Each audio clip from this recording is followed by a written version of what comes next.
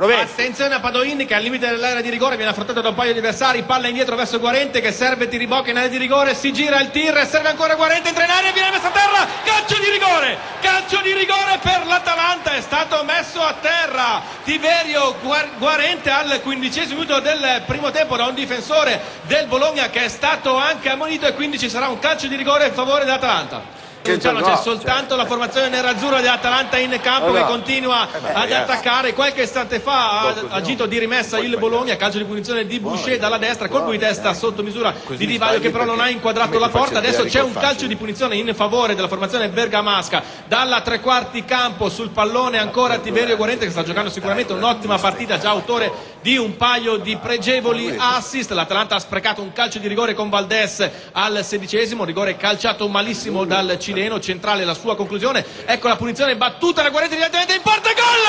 Rete! Splendida gol di Tiberio Guarente da 35 metri! un sinistro che ha colto di sorpresa Viviano è andato a infilarsi all'incrocio dei pali. Atalanta 1 Bologna 0 che Giordano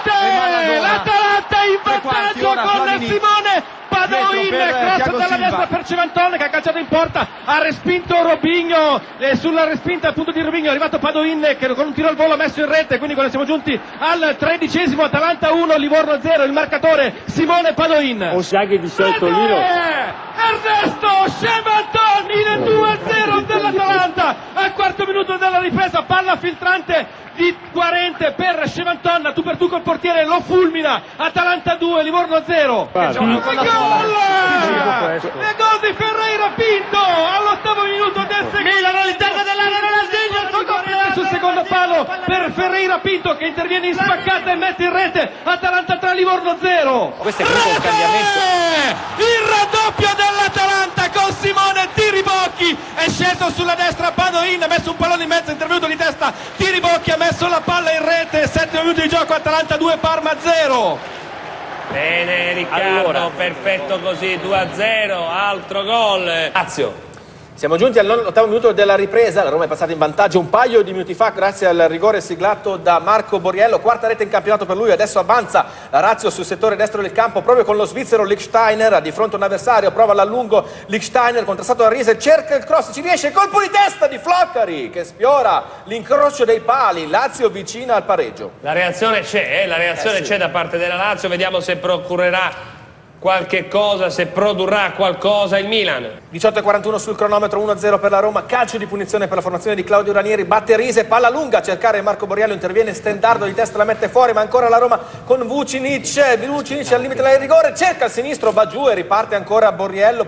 eh, scusate eh, Stendardo, fa ripartire l'azione della Lazio, adesso sulla destra e avanza il capitano Mauri, palla in verticale per Zarate, sponda ancora Mauri col pallone tra i piedi, prova il lancio sulla sinistra per Hernanes, solo davanti al portiere, il tiro del brasiliano, il miracolo di Giulio Sergio, veramente un miracolo quello del portiere giallorosso che salva il risultato. Un bel pallonetto di Mauri per Hernanes che ha calciato al volo, è stato bravissimo in uscita Giulio Sergio a dire di no, ma ancora la Lazio in possesso palla a tre quarti campo della difesa giallorossa, Hernanes in possesso della palla, scambia con Mauri, palla dentro per Floccari, forse un po' lunga, ma Sergio Floccari riesce a mettere giù il pallone, interviene molto bene Cassetti che gli ruba il pallone, va giù, calcio di punizione per la Roma. Francesco Flacchi, non so se mi potete sentire, c'è stato un contropiede di Possanzini che si è trovato solo davanti a Sereni, ha calciato a botta sicuro, la palla si è stampata sul palo, è intervenuto in seconda battuta Francesco Flacchi, ha ribattuto e nonostante l'opposizione di Pratali la palla è terminata in rete, pertanto quando siamo quindi giunti al 26esimo minuto di gioco, Brescia 1, Torino 0. Dov'è l'allenatore? Calcio di punizione, il piego, colpo di testa di Vincenzo Iaquinta, veramente è staccato in aria e ha messo il pallone di testa all'incrocio dei pali. Undicesimo minuto di gioco, Juventus in vantaggio, Vincenzo Iaquinta. Eh sì, è una, una capocciata vera proprio.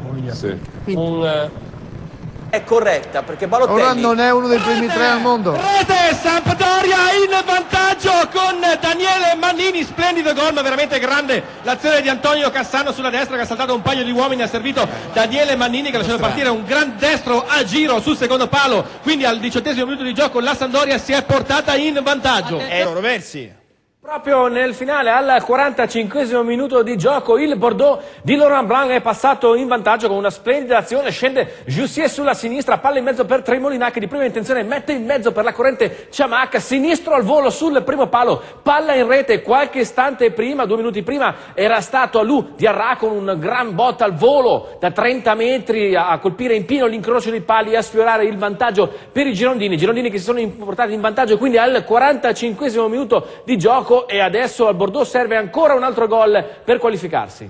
Bene Rovessi. Non stavo guardando la partita, ho visto la partita preso da questa discussione bellissima, ma da come l'ha raccontata Riccardo, sicuramente vedendola non l'avrei capita così bene. Era, esal- era esaltante come l'ha raccontato. No, davvero, molto eh. chiaro, Bravo. il buon e bravo Rovessi fatto Oi, oi, oi, oi, oi, oi, ancora oi, Messi, oi. parte il pallonetto, un Oi, gol oi, incredibile! Splendido il gol di Messi, il 3 a 1, un gol fantastico. È partito palla al piede da centrocampo, si è presentato davanti ad Almunia in uscita, l'ha battuto con un cucchiaio splendido. Barcellona 3, Arsenal 1. 33esimo a Roma è entrato anche Alessio Cerci al posto di Motta, adesso Taddei fa il terzino destro, Cerci l'esterno alto, entra Messi in area di rigore, finta doppia finta, prova a mettere il pallone in mezzo, è molto bravo Canini a contrastarlo, a mettere il pallone in calcio d'angolo, ennesimo corner, l'ottavo in favore della formazione giallorossa, si incaricherà della battuta proprio lui, il francese Jérémy Menes che studia il piazzamento dei compagni, palla corta in direzione di Perrotta che gli dà il pallone, Menes entra in area di rigore, prova il destro, Totti su davanti al portiere, Totti incredibile, mette alto, ha provato il cucchiaio dall'interno dell'area piccola, colpo sicuro, Totti ha messo il pallone alto sopra la traversa. E c'è Roma-Cagliari. Per quanto riguarda la Roma, andiamo subito a vedere le formazioni, non gioca Vucinic, problemi alla caviglia per lui, quindi Claudio Ranieri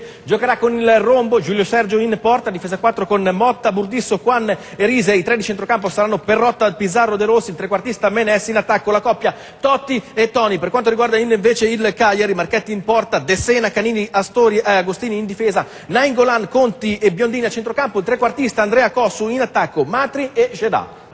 Attenzione a Menes sullo settore destro del campo, entra in area di rigore, Menes ha risposto all'avversario, lo salta, Menes va sul fondo in mezzo, Cercatoni, non ci arriva, Vucinic, gol! Il 4-2 della Roma al 37esimo, bellissima azione dei giallorossi con Menes sulla destra che va sul fondo, mette in mezzo, velo di Toni, arriva Vucinic, piatto destro sul secondo palo, palla in rete, 4-2 Roma sull'Udinese. La volontà E c'è il pareggio del Bologna, clamoroso autogol di Federico Peluso e il Bologna pareggia al 37esimo, c'è stata una conclusione di Jimenez sulla quale ha respinto in qualche maniera il portiere Consigli, certamente non una grande parata, nel tentativo di rinviare Peluso ha messo nella propria porta, quindi al 37esimo Atalanta 1 Bologna